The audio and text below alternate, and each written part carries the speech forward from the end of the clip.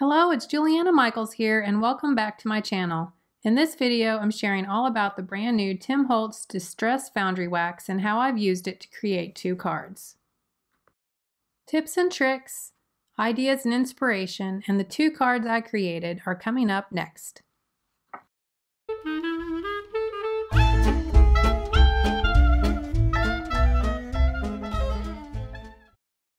Distress Foundry Wax is the latest new product from Tim Holtz, and I have to admit that I haven't been this excited about a new product in a very long time.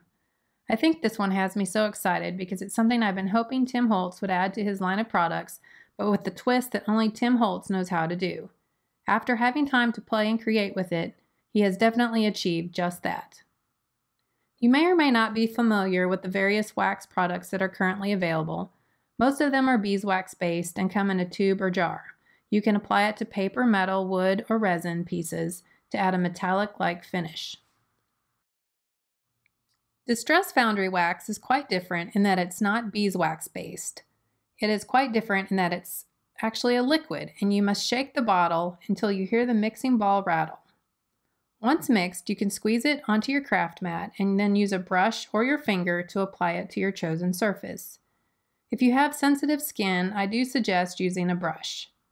You will notice that once you squeeze it onto your craft mat and start moving it around, it begins to thicken and becomes more cream-like. It will continue to thicken until it's dry. However, it's not permanent at this point and will still flume or rub off. To stop the fluming and to make it permanent, you must apply heat to it using a heat gun.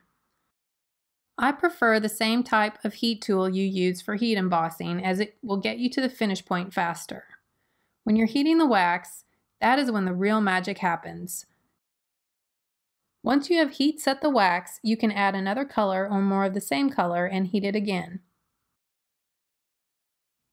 A couple of other tips and tricks I have to share include recapping the bottle after each use and to make sure you do not leave the bottle next to where you are heating the wax. This will heat the wax inside the bottle and ruin it. The Tim Holtz Tonic Studios Non-Stick Craft Mat is the best surface to use when working with this product. I tried working from my glass mat, but the wax stayed as a liquid and when I went to apply it, it seemed to just soak into the surface instead of me being able to apply it to the raised surface. Another thing I love about the foundry wax is that it has no odor and it cleans up easily with a bit of rubbing alcohol. I like to use a mini mister filled with 91% isopropyl alcohol, which is actually the same one I use when I'm working with alcohol inks. Now let's get on to how I use the foundry wax on the two cards I created. On this first card, I wanted to try to use foundry wax on a textured surface. I began with a piece of distress watercolor paper trimmed to 4 by 5 and a quarter inches. I then did a little ink smushing. I took the saltwater taffy distress ink pad and smushed it directly onto my craft mat. I spritzed this with some water and then smushed my paper into the ink. Next, I used my heat it tool to dry the ink. I repeated this process of ink smushing until I was happy with the ink coverage.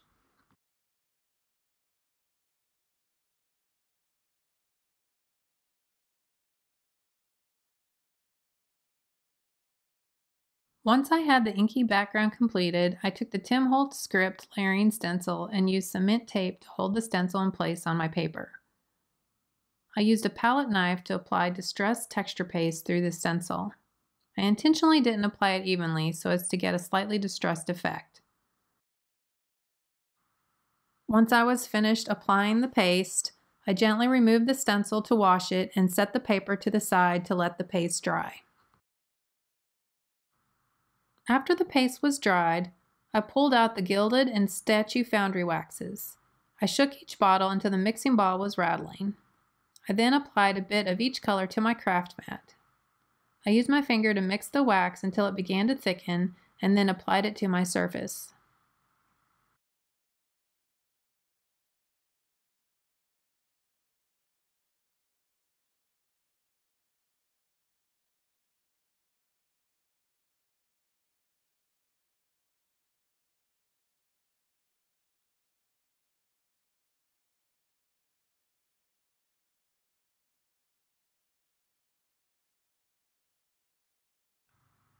After applying the wax, I then use my heat gun to set the wax.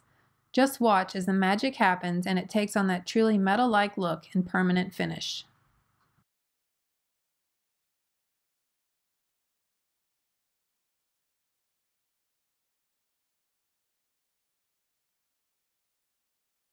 As I mentioned earlier, foundry wax cleans up easily with a bit of rubbing alcohol.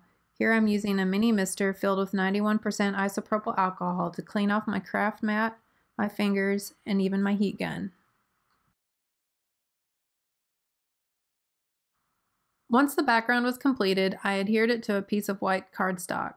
For the embellishment, I added a bit of gold thread and a die-cut butterfly. Yes, more butterflies. This time I used the Tim Holtz scribbly butterflies and die-cut it from white cardstock. I couldn't bear to cover up that beautiful background I had just created. For the sentiment, I used a sticker from the metallic sticker book and layered it onto a piece of cardstock inked with saltwater taffy oxide and trimmed it to size. I love using this little trick of a piece of scrap cardstock and mint tape to help me trim down those tiny little strips.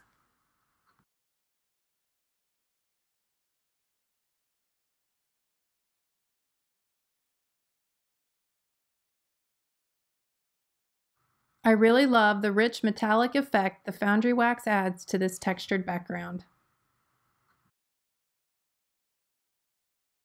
On the second card, I'm sharing how I added the foundry wax to an embossed background. Once again, I began with a piece of distress watercolor paper. I spritzed it with some water and then embossed it using the Tim Holtz 3D Texture Fades Damask Embossing Folder. Spritzing the paper with water until it is damp helps soften the paper fibers and gives you a better impression. It can also help prevent your paper from tearing or ripping when working with these 3D embossing folders. After I embossed the paper, I dried it using my heat tool. I then added some ink smushing, but this time I used Salvaged Patina Distress Ink.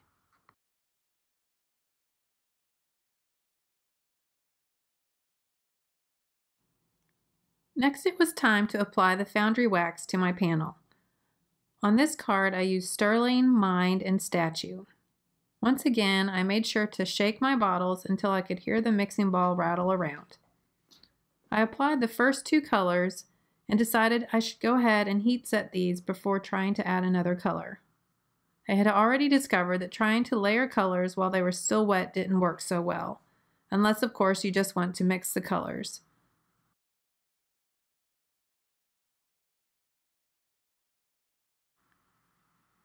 I like to be able to see the individual colors, so I prefer to heat set them in between adding another color or even more color.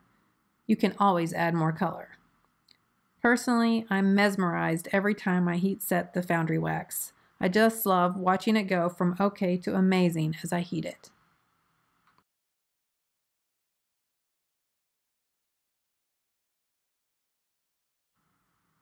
Here I'm applying the third color, Mined, and repeating the same process of application, and then heating it to transform the finish.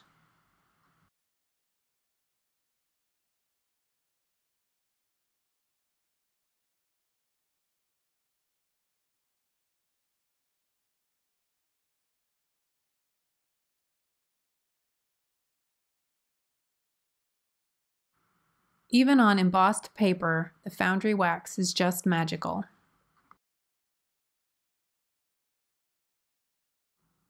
As on the first card, I couldn't bear to cover up too much of the background, so I opted for another simple butterfly die cut in sentiment.